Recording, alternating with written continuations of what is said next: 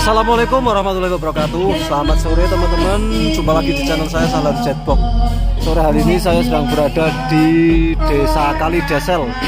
Dusun Kalidesel, Desa Kalidesel, Kecamatan Watu Malang, Kabupaten Wonosobo Dan sore hari ini kebetulan ada pentas seni tari warok Kuda Kepang yang sedang berlangsung untuk memeriahkan Hari Raya Idul Fitri di Desa Kalidesel. Simak terus video dari saya Salat Jetbox dengan cara like, comment, subscribe dan buat teman-teman yang sudah subscribe saya ucapkan banyak terima kasih.